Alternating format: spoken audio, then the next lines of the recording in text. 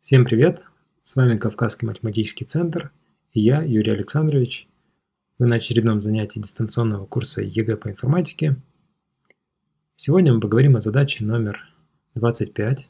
Это задача из второй письменной части, и в ней нужно написать программу для обработки массивов. Я напомню, что такое массив. Это последовательность нескольких ячеек памяти, расположенных рядом – имеющих общее имя. При этом почти всегда, почти во всех языках программирования эти ячейки имеют один и тот же тип. Например, числа или буквы. Ячейки могут быть расположены в ряд, то есть иметь вид одномерного массива. Так, например, массив А у нас одномерный. А могут быть представлены в виде таблички. Двумерный массив M имеет несколько строк и несколько столбцов. Обращение к элементам массива выполняется через индекс, номер этого элемента. И в, не, в некоторых языках программирования индексация с единицы, так, например, в Паскале, вы можете индексировать с единицы, на машинном уровне индексация выполняется с нуля. То есть первый элемент всегда нулевой. В матрице номер строчки – это первый индекс, номер столбца – это второй индекс. Номер строчки изменяется от нуля до n-1, где n – количество строк, и от 0 до m-1, где m – это количество столбцов. Так, например, на картинке элемент номер 4 в одномерном массиве А имеет индекс 3, а в матрице элемент в первой строке во втором столбце на самом деле имел бы индексы 0, 1. Однако элемент с индексами 1, 2 имеет, находится в первой строчке во втором столбце. Вот его индекс. Чтобы не запутаться, можно использовать один индексацию, то есть индексацию с единицы, игнорировать первую строчку и первый столбец. Ну, тогда нам потребуется на один больше столбцов, на один, на один дополнительный столбец больше и на одну дополнительную строчку больше. Обрабатывать массивы мы будем с помощью циклов. Блок-схема типичного цикла представлена ниже. Это цикл, в котором и счетчик изменяется от 0 до 4. 0, 1, 2, 3, 4. И если выполняется какое-то условие, то мы делаем какое-то действие. Например, если элемент больше нуля, скажем 10, минус 5, 8, минус 3, 0, то в этой последовательности два положительных элемента, вот эти два, первый и третий, с индексами 0 и 2, просуммируются в переменную s, и она будет равна 18. Я напомню, что вместе с нашим курсом подготовки к ЕГЭ информатике – на сайте КМЦ можно найти информацию про другие курсы. Чтобы научиться решать задачи, подобные 25 нам потребуется выполнять домашние задания, которые есть на сайте de.degma.ru и тренироваться на, дистанционном, на дистанционной площадке Stepik.org. В ней вы найдете два курса по перспективным языкам программирования. Это C++ Python. Итак, что же нужно знать, чтобы решать задачу номер 25? Нужно знать, что массив – это, как я уже говорил ранее, набор ячеек одного типа, расположенных в памяти рядом, имеющих общее имя. Элементы массива можно получить с помощью индекса. Имя у них всех одинаковое, а номера разные. Также нужно помнить, как работает присваивание, условный оператор цикл, хотя бы в одном из языков программирования. Переходим к примерам. Дан целочисленный массив из 30 элементов. Элементы массива могут принимать натуральные значения от 1 до 10 тысяч. Опишите на одном из языков программирования алгоритм, который находит минимум среди элементов массива, не делящихся нацело на 6. Затем меняет каждый элемент, не делящийся нацело на 6, на число, равное найденному минимуму. Гарантируется, что хотя бы один такой элемент, то есть не делящийся на 6, в массиве есть. Посмотрим на пример. Входные данные представлены в первом столбце. Выходные данные во втором. Я поставлю галочки рядом с теми элементами, которые не делятся на 6. Это 14, 11, 9. Они делятся на 6. Минимум среди них 9. Поэтому все элементы, которые не делятся на 6, нужно изменить на девятку. Интересно, можно ли решить эту программу с помощью одного цикла? Обратите внимание, что синтаксис цикла уже представлен на картинках с условиями. Мы можем взять одну из этих картинок, переписать код и вместо троеточия дописать свое решение. Но использовать новые переменные нельзя.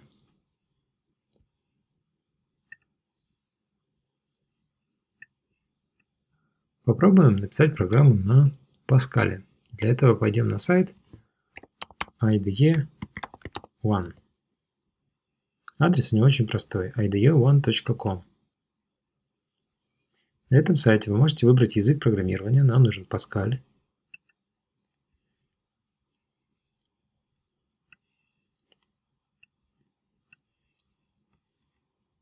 Сюда можно перенести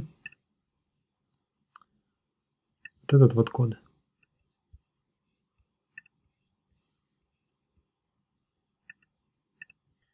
Вот код набран. Следующим шагом нужно дать программе входные данные. Они у нас в условии уже есть. Это числа 14, 6, 11, 18, 9, 24.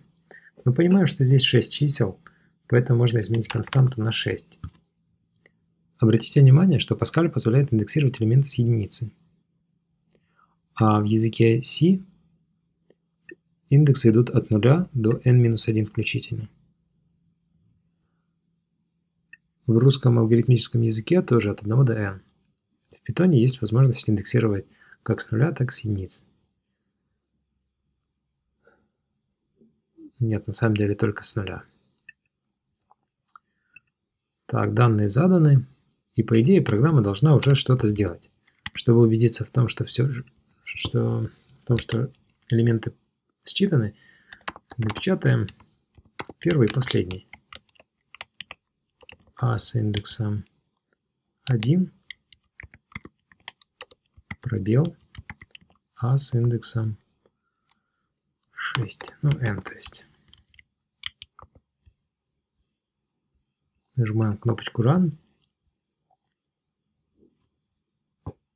И возникла ошибка компиляции, чего-то не хватает.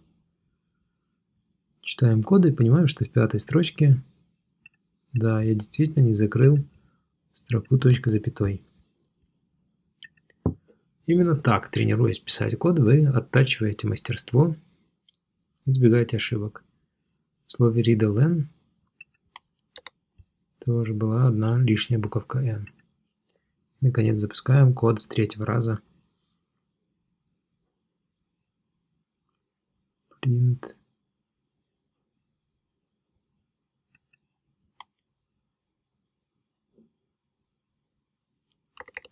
Конечно, в Паскале это write.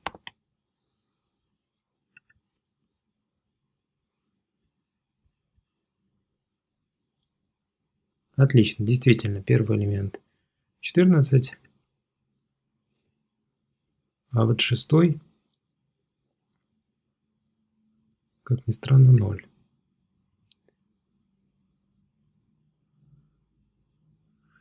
Шесть.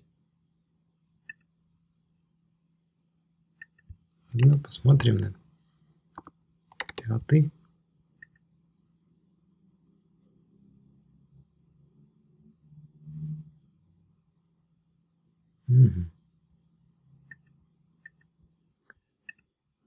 Дело в том, что вместо считывания элементов массива я написал read.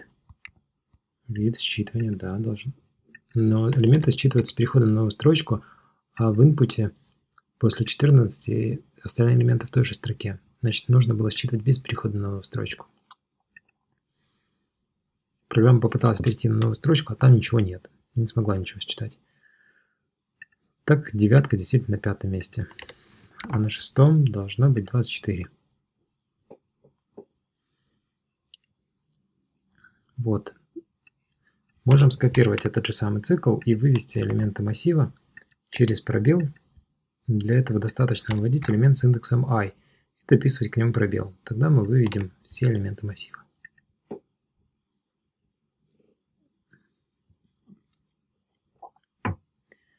Может быть, не стоит их переводить на новую строчку? Каждый новый выводить на новой строке. Ну, так будет попроще для отладки. Хотя нужно написать программу, которая считывает числа каждой с, новой, каждой с новой строки и выводит с новой строки.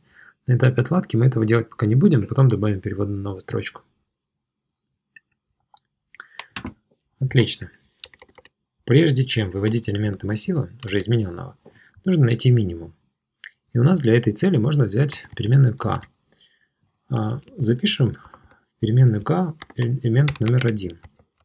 И если какой-то из остальных элементов окажется меньше, чем первый, то будем считать минимальным новый встретившийся нам элемент. Сделать это можно с помощью цикла. Я выделяю код, копирую, вставляю, но, конечно, делать мы должны это от руки на бумаге. Теперь индексация с двух. Там, перебираем элемент, начиная со второго, потому что первый уже и так считается минимальным. Если очередной элемент с индексом i меньше, чем k, тогда k нужно записать этот самый элемент с индексом i. Так, например, самым маленьким сначала читался 14, затем встретился элемент 6, он меньше, чем 14, перезаписался. Ну и больше ничего меньшего не встретится. Проверим, что будет выведено в переменной k. Write ln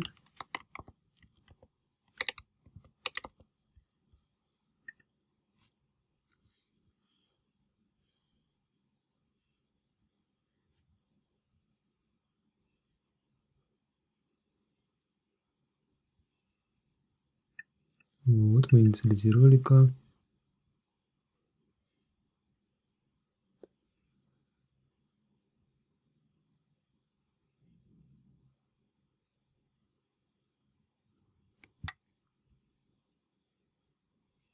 А, двоеточие. Надо писать двоеточие, мы присваиваем.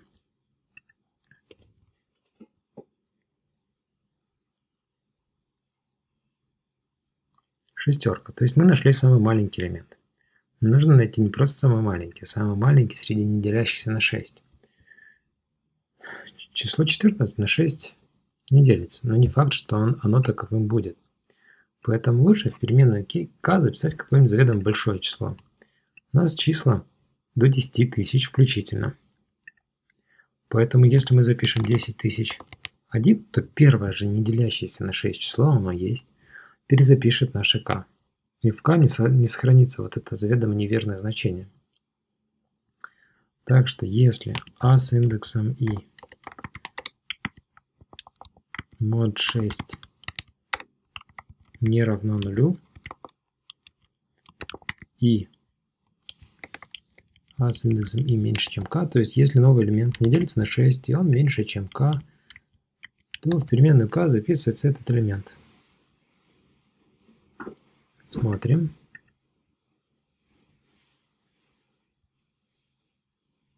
Теперь это девятка. Это правда, действительно. Сначала переменную k записалась 14, потом 11 и только потом 9. Отлично. Значит, прежде чем выводить массив, можно еще разок пройтись по нему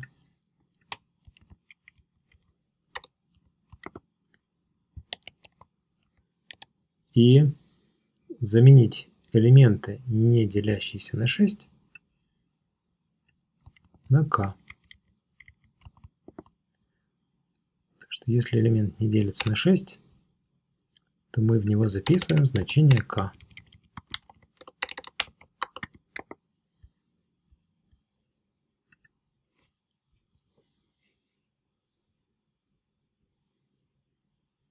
9.6, 9.18, 9.24. Отлично, получилось.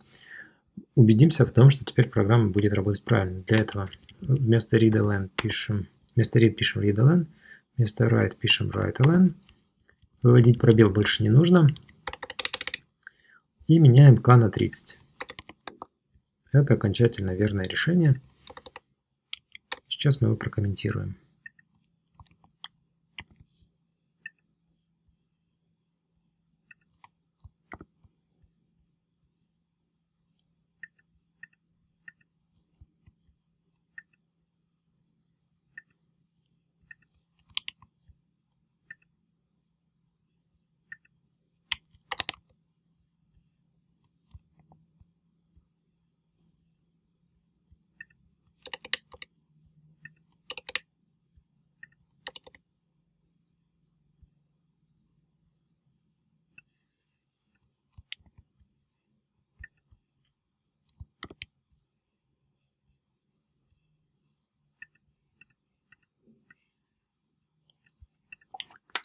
Что же здесь было выполнено?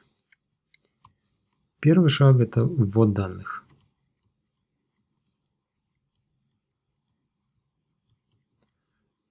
Начинаем искать минимальный. То есть вот этот вот это для минимума. И для всех остальных элементов, если элемент не делится на 6, если a с индексом i не делится на 6.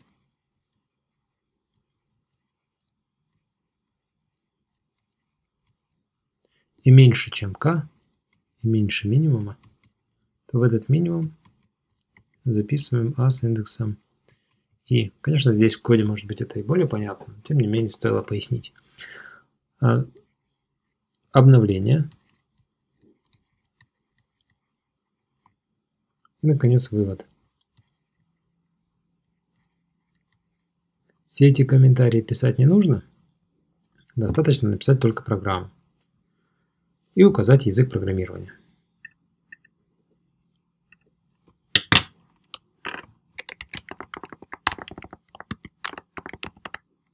Написано на Pascal. Отлично. На этом все. Переходим ко второй задаче. Дан массив, содержащий 2018 положительных чисел, не превышающий 15 тысяч. Необходимо уменьшить на удвоенное значение минимального элемента те элементы, которые более чем вдвое превышают этот минимум, и вывести измененный массив по одному элементу в строке. Ну, давайте напишем теперь программу на C++.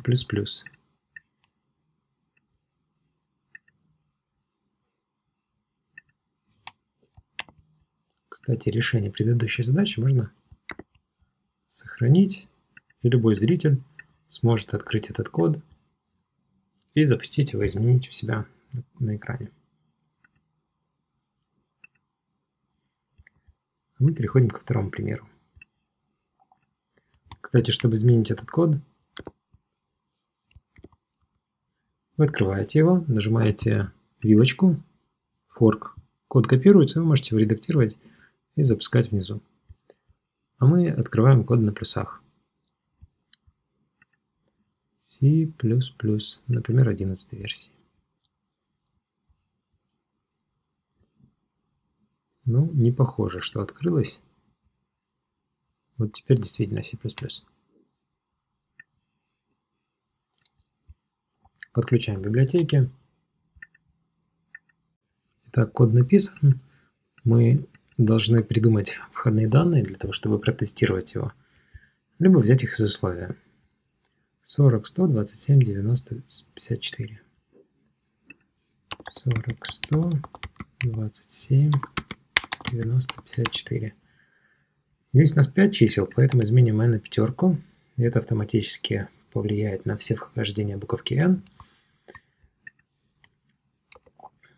Теперь вчитаемся в условия.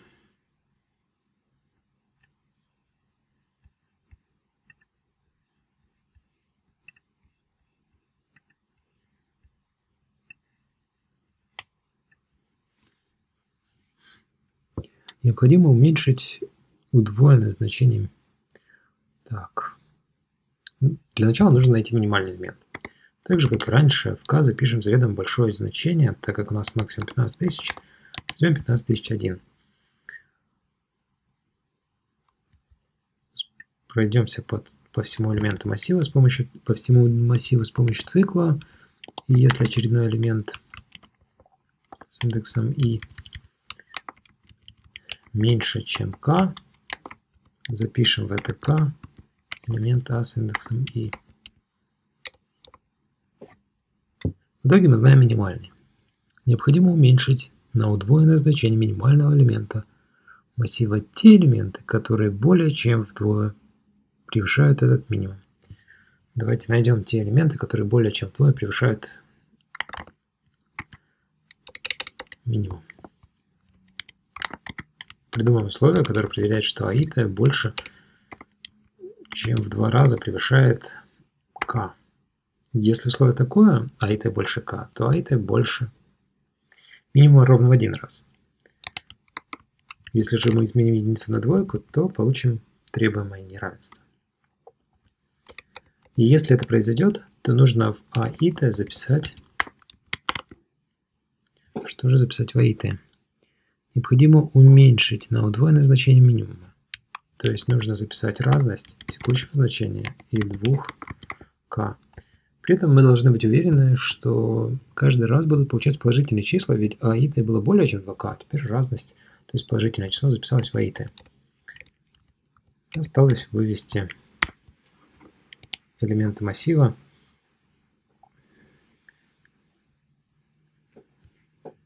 Исходные данные. По одному числу в отдельной строке. Минимальный элемент исходного. Так, значит по одному в каждой строке. Угу. Cout A с индексом и так работает вывод. И нужно добавить переход на новую строчку. Slash n.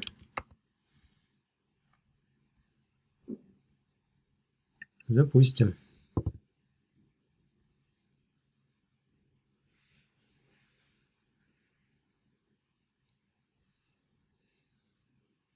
Сорок, сорок шесть, двадцать семь, тридцать шесть, пятьдесят четыре. Да, действительно, верно.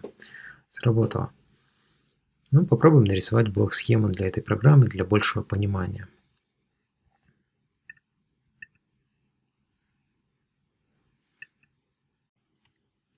Блок-схема – это способ записи программ, понятный всем читателям, даже незнакомым с синтаксисом того или иного языка. Итак, начало – это обычно овал. Дальше идет цикл, в котором и изменяется от нуля до n.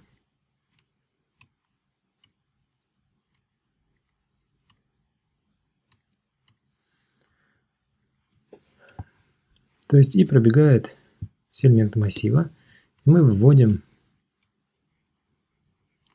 элемент А с индексом i.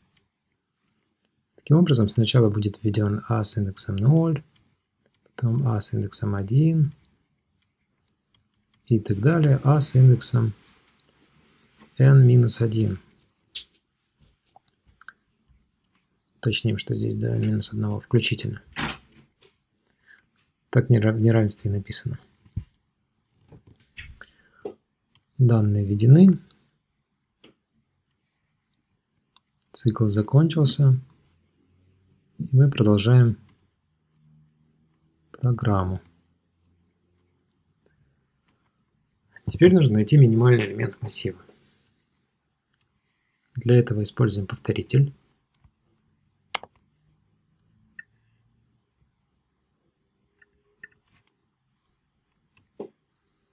также для всех элементов массива. Но прежде чем этот повторитель запустится, установим начальное значение для k. Для этих целей используется прямоугольник. Оператор присваивания оформляется в виде прямоугольника.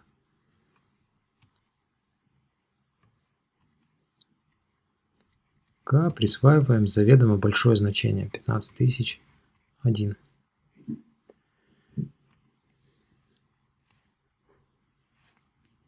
Следующий шаг – это условный оператор. Если очередной элемент меньше, чем k, то мы его меняем на k.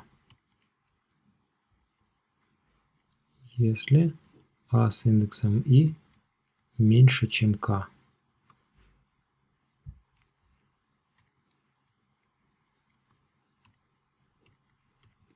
Если это так, то k обновляется и становится равным a с индексом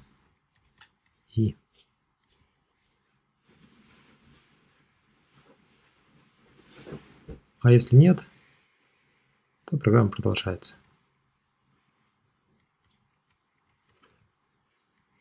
Итак, мы обработаем все элементы массива. Если какой-то минимальный есть, то он будет найден. Следующий этап – это пройти по массиву и обнулить, не обнулить, а уменьшить те элементы массива, которые маленькие, затем вывести. Я думаю, в принципе, программа может быть достроена по аналогичным, аналогичным способам. Попробуйте доделать это самостоятельно. Ну, на сегодня все. Спасибо за внимание. С наступающим Новым годом!